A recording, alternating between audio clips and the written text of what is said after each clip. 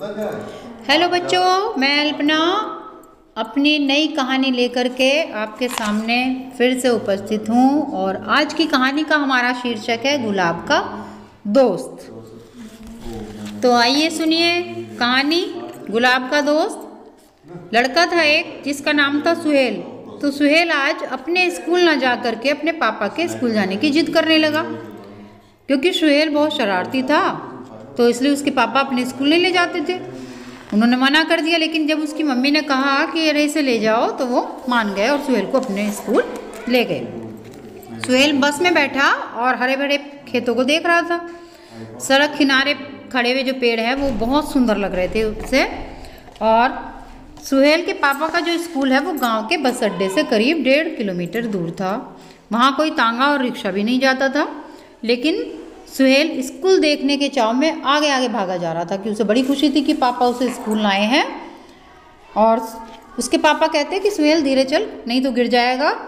सुहेल के पापा उसे धीरे चलने के लिए कहते हैं, लेकिन वो कहता है कि, मैं गिरूँगा नहीं पापा, क्योंकि उसे तो सब नज़ारे बहुत सुंदर लग रहे थे। सामने झील आई और उसने कहा कि, अरे, कितनी सुंदर मछलियाँ हैं सुहेल ने, तालाब के बीच। तैरती मछलियों को देख करके कहा सुन, कि कितनी सुंदर है, बहुत सारी भी हैं। सुहेल के पापा ने मछली को देखकर कहा कि इनको ठंड नहीं लगती। सुहेल ने भोलेपन से इस बात को पूछा कि क्या पापा, इनको ठंड नहीं लगती मछलियों को?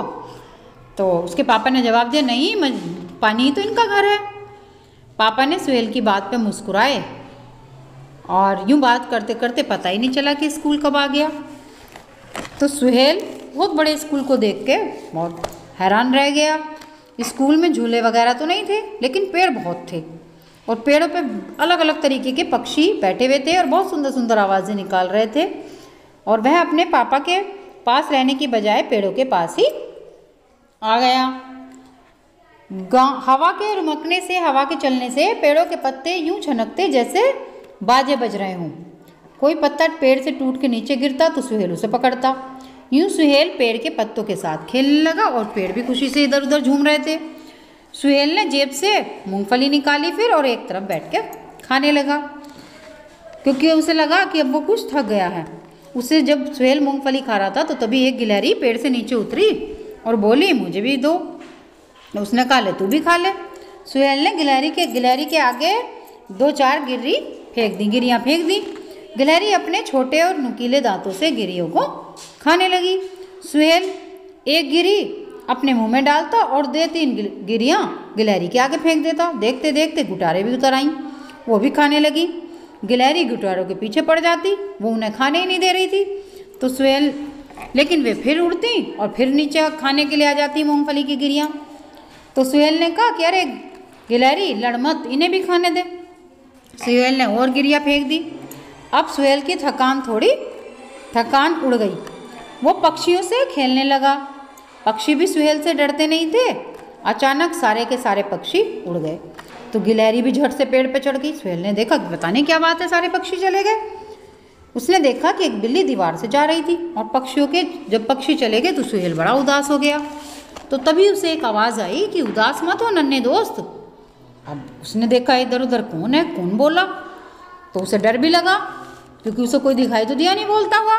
वो फिर बोला कि तू डर मत, मैं तेरे सामने ही हूँ। एक मुरझाया हुआ से गुलाब ने कमज़ोर सी आवाज़ में कहा तो सुहेल ने उसके पास जा कर के कहा, क्या तू बीमार है? तो गुलाब का फूल बोला, नहीं नहीं, मुझे बहुत प्यास लगी है। और गुलाब की गर्दन ऐसा कह के एक तरफ़ को लुढ़क गई। तो सुहेल ने कहा, और बता क्या चाहिए? सुहेल भागा और छोटी सी गिलासी में नल से पानी भर के लाया।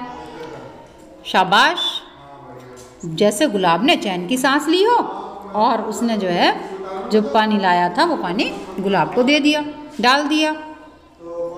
सुहेल ने पूछा, गुलाब पे पानी छिड़कते हुए कहने लगा कि तुम्हें बीमार हुए कितने दिन हो गए? तो उसने कहा, यही कोई एक सप्ताह। गुलाब ने मरी हुई सी आवाज़ में कहा। तो सुहेल बोला कि, क्या तेरे साथियों ने तुझे पानी नहीं पिलाया? तो गुलाब बोला, जब मैं खिला हुआ था तो सबके मन को अच्छा लगता था।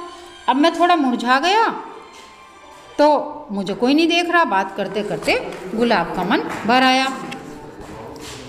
तो सुहेल फिर गिलासी में से पानी लेकर आया और तू चिंता मत कर, मैं तेरे लिए और पानी ले आता हूँ, ऐसा करके वो फिर पानी भर के ले आया। उसके पापा ने उसे आवाज़ लगाई कि सुहेल रोटी खा ले। तो सुहेल बोला, मुझे भूख नहीं है पापा। और पापा की ओर देखे बगैर ही गुलाब की ओर चल पड़ा। ये पानी किसे देने चला है? उसके पापा ने पूछा। कि तेरे दूसरे हाथ में क्या है? कि जो आप अभी घर में पौधों में डालते हो सुहेल ने रे का नाम पता मालूम नहीं था कि अच्छा तू पौधों में खाद डालने चला है। पापा ने सुहेल के हाथ में सूखे हुए गोबर से सने हुए हाथ देख कर कहा।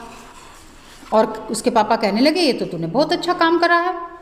सुहेल को गुलाब की जड़ों में रे डाल डाल रहा था सुहेल, गुलाब की जड़ में खाद। फिर गिलहरी बोली, तू तो ये बहुत अच्छा काम कर रहा है। हाँ ये तो भलाई का काम है, साथ वाले फूलों पर मंडरा रही, तितलियों ने भी गुलहरी की बात पे हामी भरी। गुटारे भी।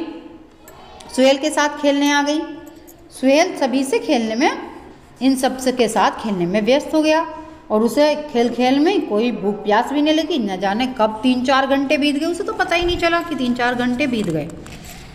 फिर उसने देखा कि अरे वाह, गुलाब तो खिल गया। तितली गुलाब पर मंडराने लगी, तालियाँ बजाने लगी, एक काला भवरा भी फूल पर आके बैठ गया।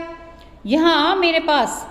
तू मेरा सच्चा दोस्त है, गुलाब ने खुशी से, खुशी भरे आंसुओं से सुहेल से कहा कि हाँ हाँ तू भी तो मेरा दोस्त है। सुहेल सुहेल ने भी अपने हाथ से नन्हे से गुलाब को सहलाते हुए कहा कि तू मेरा प्यारा सा नन्हा सा दोस्त है।